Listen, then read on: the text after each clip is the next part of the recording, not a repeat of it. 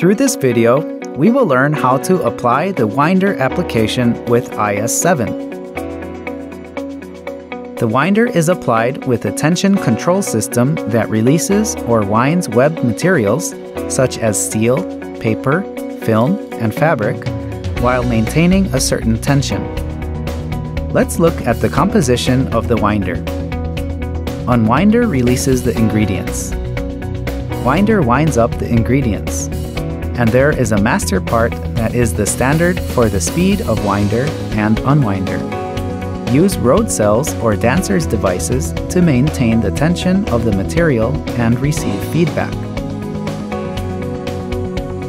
In order to apply IS7 to the winder, we will assume and proceed as follows in this video. The order of the startup operation of the winder application is as follows. After completing the equipment setup through the inverter connection, the control state is checked by each inverter solo driving. After that, check the synchronization of the speed through inverter linked operation, adjust the offset and gain for the speed command, speed output, and speed input signal, and signal offset and gain for the dancer or load cell. And the PID control reactivity is checked through the overall system operation and the system is optimized through gain tuning. Basically, after completing the inverter power connection, signal and encoder connection are performed. The inverter of the master unit controls V by F, so the encoder is not used. The inverter applied to the winder and unwinder requires encoder connection because it controls vectors. The master controls entire line speed. Connect the master's output frequency value by the input of the speed command on the rewinder side to match the speed synchronization between the master and the rewinder. In order to keep the tension of the rewinder constant, it is wired so that you can get tension feedback from the dancer or load cell. Once the inverter connection is complete, independent speed control is performed on the master and rewinders to determine whether the operation is abnormal. Set command source and frequency source to keypad. In the case of rewinders, set parameters related to the encoder and speed controller required for vector control. In order to align the rotation direction of the motor, both the master and rewinder inverters are set to V by F control mode and the operation signal is applied check the rotation direction of the motor, and if it is the opposite direction, change two of the three phases of the motor to connect. To check the direction of the encoder, set the rewinder inverter to vector control mode and apply the operation command to check whether it is operating normally. In case of abnormal operation, the encoder is connected by changing phases A and B of the encoder, or A plus B is changed for the inverter APO number 5 encoder pulse selection to minus A plus B to match the direction of the encoder.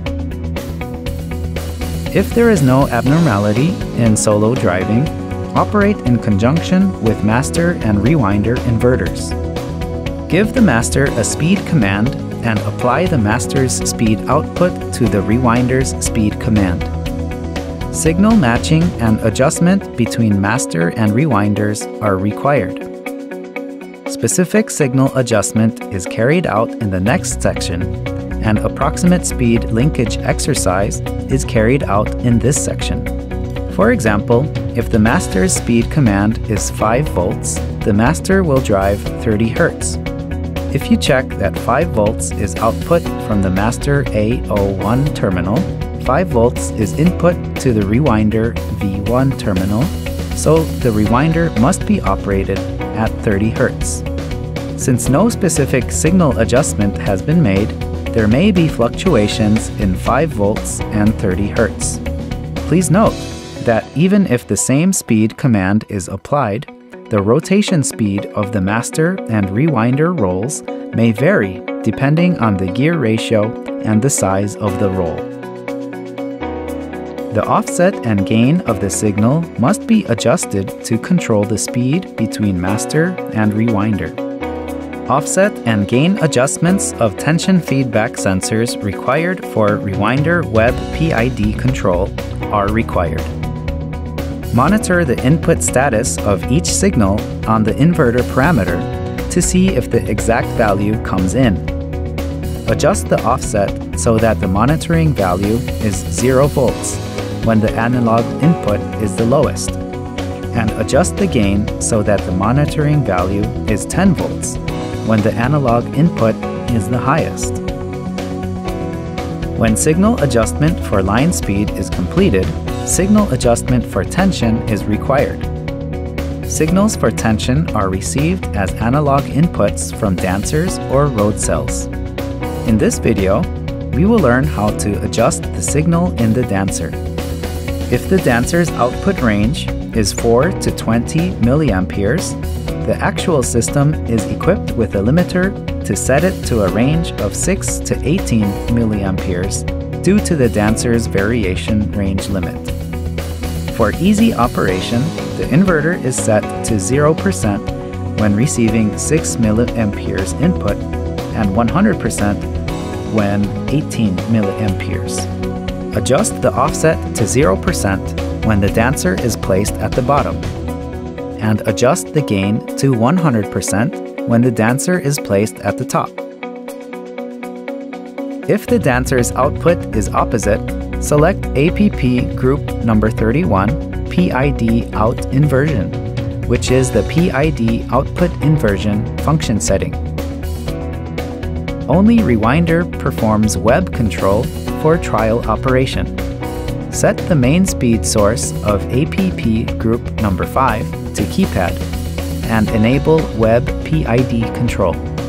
In order to check only the reactivity of Web PID, the diameter calculation function and the disconnection detection function are deactivated, and then the test is conducted.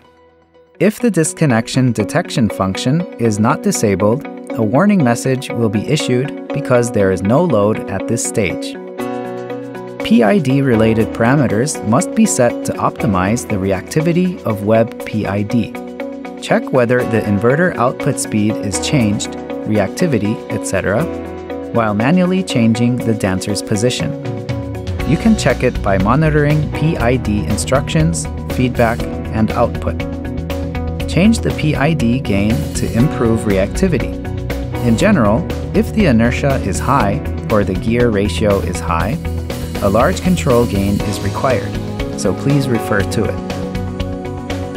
To check whether the PID is operating, set the rewinder's inverter speed command to 50% and place the dancer at the lowest level. After confirming that the driving speed is accelerating, place the dancer at the highest level to see if the driving speed is slowing down. Align the dancer's position the same as the PID reference setting and make sure the speed is constant. After that, check the PID reactivity and set the gain value. Check the variable response when the speed changes. Change the dancer's position based on the PID reference. Adjust the PID gain by looking at the degree of change in the PID output value.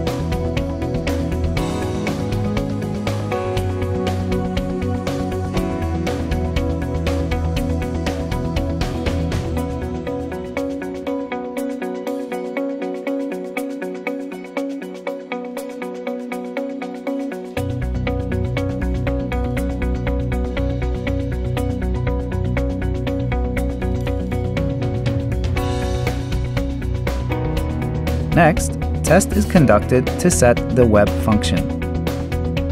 Tests including calculating and setting the maximum motor speed, setting the diameter, setting the PID parameter, and tuning the PID gain. In the rewinding operation, the motor speed is the fastest when the bobbin is empty. This speed must be calculated and set. In order to calculate the maximum motor speed, you need to know the maximum line speed, gear ratio, and minimum diameter. The calculation equation is as follows. The theoretical maximum speed may differ from the actual line speed due to errors in the gear ratio and mechanical tolerances. So, we measure the actual speed with a tachometer to check the exact minimum speed. Set the parameter related to the maximum speed of the motor. When 100% of the speed command is applied to the main speed set of APP group number 4, check that the maximum speed is 200 mpm. If the speed command is not 200 mpm, check mechanical matters such as gear ratio again. Please note that there are many cases where the line speed is not correct due to misunderstanding of the gear ratio at the actual site. The rotational speed of the motor varies depending on the diameter. So, if the bobbin has been replaced, the diameter should be initialized through a signal. When using various bobbins, it is necessary to give a signal to check which bobbin is installed. Up to four types of bobbins can be set. Enter the diameter size of the bobbin on a full diameter basis. For example, if the diameter of the bobbin is 1000 millimeters and the diameter size of the bobbin is 200 millimeters, the bobbin size can be set to 20%. During the trial operation, the P gain for the dancer's reactivity was determined, and the PID output value was set appropriately. Next, PID precise tuning is performed. As the size of the bobbin increases, the weight and inertia of the winder increase, so the characteristics of the system change. Changes in the characteristics of the system can lead to hunting by the tension feedback sensor. Therefore, it is necessary to change the PID gain. If you set the gain when the bobbin is at its maximum, it works normally in most areas. However, please note that the PID I gain and P profiler functions have not been changed. APP group number 54 fixed PID enable is used when the web PID is less responsive than the main speed.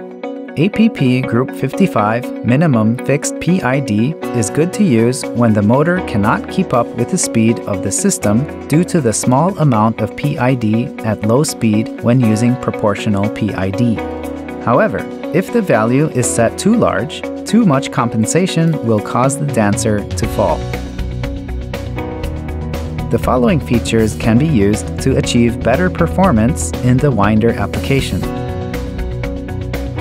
The web break function is for the inverter to detect and protect materials when they are cut while driving. When the material is cut in the interlocking system, the load is generally reduced. The inverter checks this and generates a trip to protect the equipment. You can disable this function in the preparatory operation stage and enable this function in the actual web operation stage. The reverse tension enable function is used in systems without mechanical brakes. When the winder stops, the material stretches and tension feedback decreases. If you drive again in this state, it will be difficult to find tension instructions and cause defects in the product. It is a function that allows the motor to rotate backward by PID output to make the stretching normal. Smooth control is possible because it starts while holding tension. The Web Quick Stop function is to stop the system in emergency situations, such as accidents.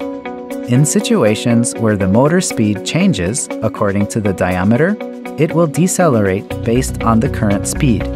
To protect the load in the interlocking system, all rolls must stop at the same time so this function can be used to protect the equipment. The P profiler function compensates for the increased inertia by changing the P gain when the weight and inertia of the bobbin increase as the diameter increases in the rewinder. The amount of compensation varies depending on the material and characteristics. So you can set and use the value through operation.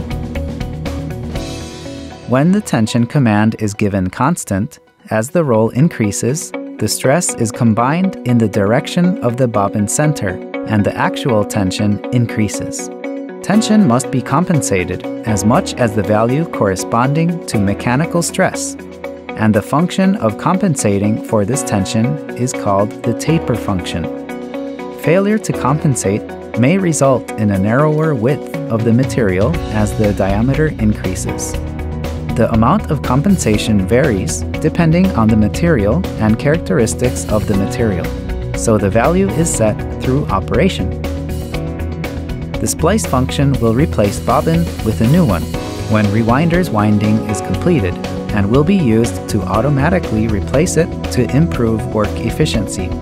As the diameter increases, the motor speed gradually decreases due to the diameter operation.